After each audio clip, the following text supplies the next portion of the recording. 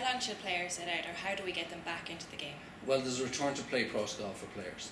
Um, in the GAA guidelines, if you're a child between 5 and 12, you have to have two weeks of absolute complete rest uh, before you actually even engage with the return to play protocols. From 13 up, then, it's a six step process. So the first step is really about rest and recovery, uh, where, where there's absolutely the, the, the, the, player has absolutely no symptoms whatsoever and shouldn't be on any medications for, for any symptoms. So that's 24 hours later, then you're into step two.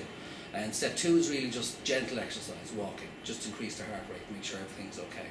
So 24 hours later, then you can move to step three, which is kind of sports related activity, a little bit of jogging, a little bit of head movement, stuff like that.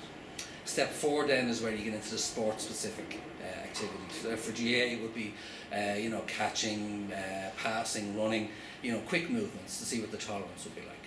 And if that goes well, then you can move to step five. Now, step five is a significant step because it is contact. All the other steps, there's no contact at all. It's all just activity. So you're into practice with contact, and for that, you have to have medical clearance.